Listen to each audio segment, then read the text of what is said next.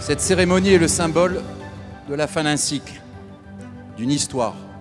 Cette cérémonie est aussi par essence le symbole de l'effort, du sacrifice parfois, d'un bonheur certain et d'une joie partagée.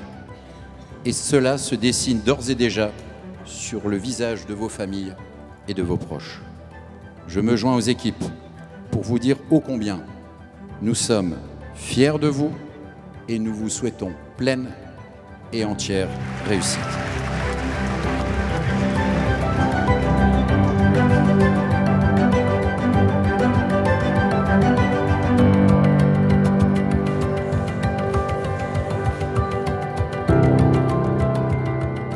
Soyez fiers de votre diplôme, de votre réseau, de vos particularités et de vos différences.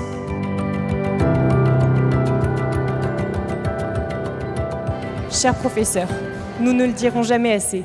L'ISA n'est pas simplement une école, c'est une famille. Un, Un grand merci.